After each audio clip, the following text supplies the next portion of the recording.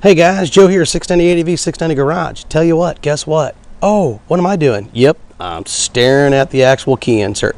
That key insert is pretty big deal because you know why? Guess what? It's how you start your bike. So you don't ever want to have to try that, basically try to jump that bad boy off. Now, what I like to do is I like to periodically use a little WD-40. Now, I like to call it just a light, basically, lubrication on certain things that just need it. If you do travel off-road, this guy gets gummed up with dust, dirt, and all that type of stuff.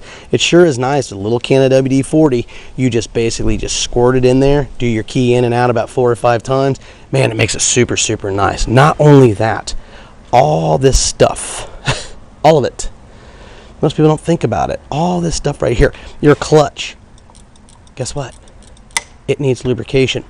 This right here, your brake, lubrication. Even up in the throttle, horn, switches. I mean, you name it, all the way around. Even the gas cap. It just all it's going to do is it's just going to extend the life of all your stuff, and it means that you love your bike and that you're taking care of it.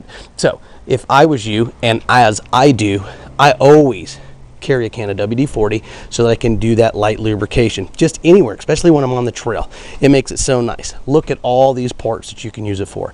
I'm telling you, it's worth it. It's cheap. It's about a buck. You will thank yourself down the road. This is your two minute tip. Have a great day.